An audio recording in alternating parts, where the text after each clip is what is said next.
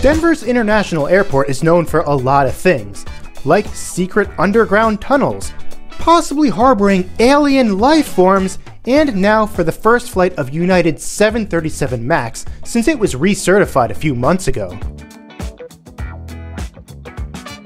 United has chosen today, February 11th, as the date for this inaugural flight from Denver to Houston, and I was lucky enough to grab a seat in their first class cabin. In my last Max video, I received a lot of really great feedback from viewers across the globe, and I was surprised to see so many positive comments about the 737 MAX. It really seems like most of you are genuinely excited to see this plane back in the sky.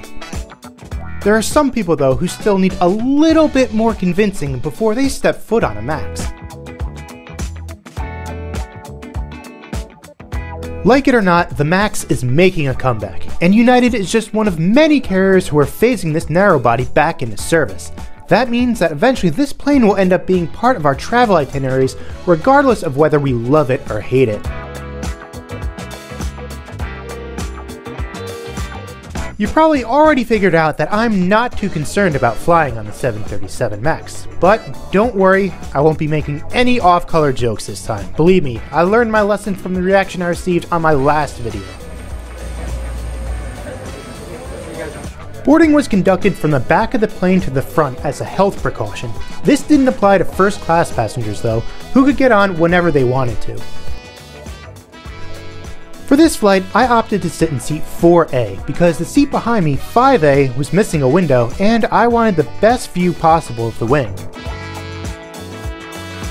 Unlike their older Maxes, United has outfitted this 737 MAX with a proper bulkhead, which really gives the cabin a nice sense of privacy.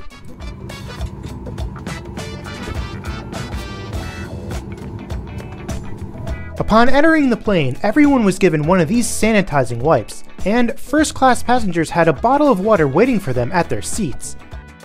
United was very proactive about telling their passengers that they were going to fly on a 737 MAX, and giving them the option to switch for free if they felt uncomfortable. They've even dedicated an entire section of their website to all the safety measures they've implemented, including, but not limited to, adding a second sensor to monitor the angle of the plane, countless hours of pilot training, and updating each MAX with the latest FAA approved flight deck software.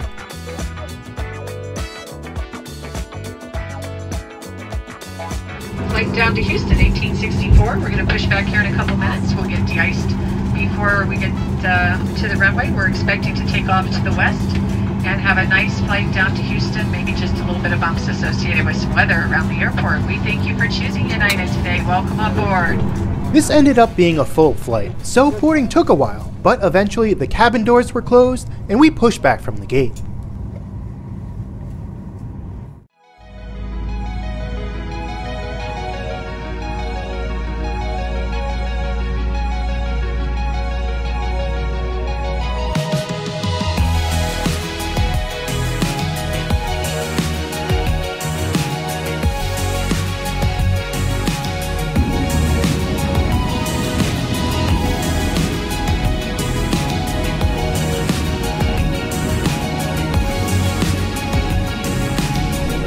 As the captain mentioned earlier, we needed to stop to get de-iced before takeoff. This was the first time I've ever seen this from the inside of a plane, and it was a really neat experience.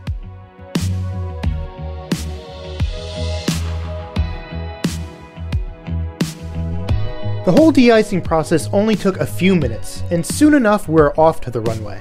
I will warn you though, all that de-icing fluid on the windows did ruin my takeoff footage.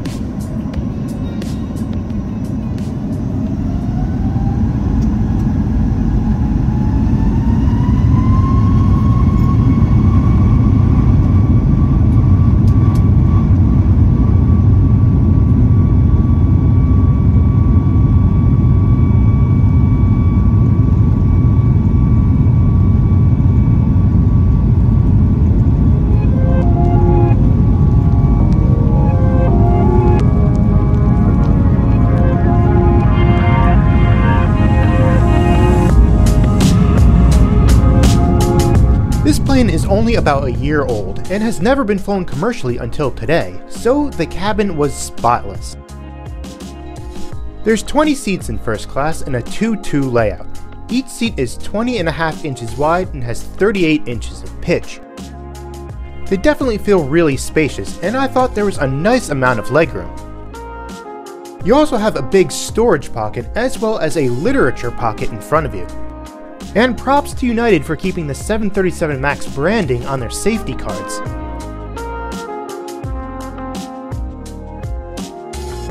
The center console is nice and wide, and there's a universal outlet as well as a water bottle holder in front for each passenger. The tray table pulls out from inside the armrest, and you can move it back and forth. There are no personal TV monitors on this plane, so each table has a tablet holder built in.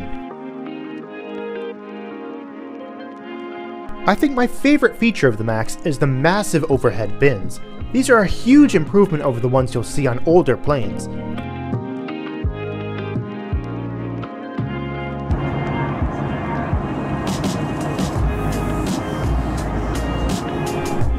Crew began the meal and drink service as soon as we reached cruising altitude.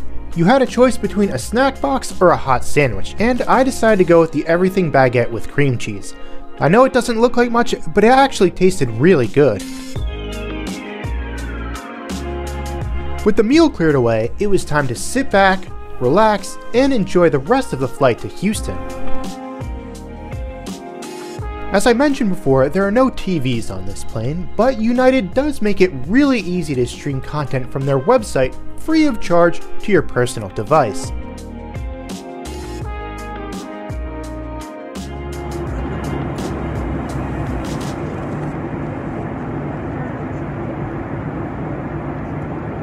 And here's a look at the famously small lavatory on the 737 MAX. I actually think this one in first class is bigger than the ones in economy.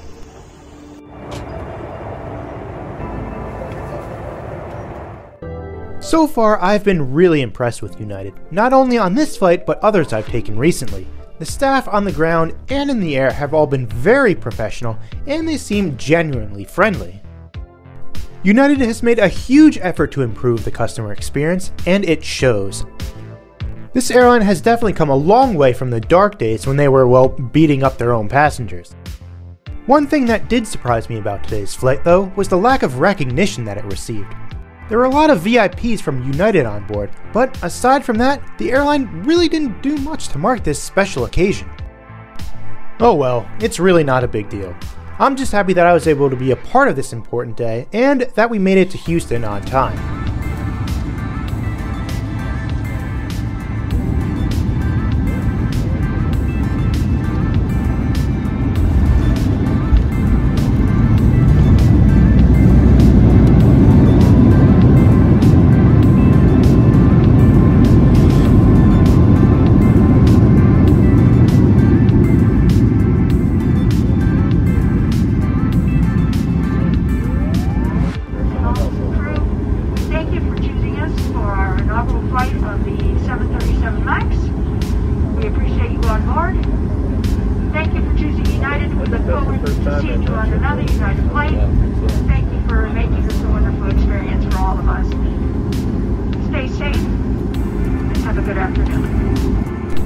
I struck up a conversation with the gentleman sitting next to me, and he didn't even know that he was on a Max. When he found out, though, he was completely unfazed about flying on a plane with such a troubled past.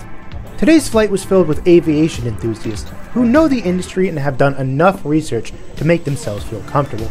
But the 737 MAX's fate rests with those, like my seatmate, who aren't really into aviation. It's my hope that successful flights like today's will help restore the MAX's infamous reputation and ease the public's concerns about this plane. So, are you happy to see the 737 MAX return with another airline, or are you going to leave me some hate in the comments? Let me know below.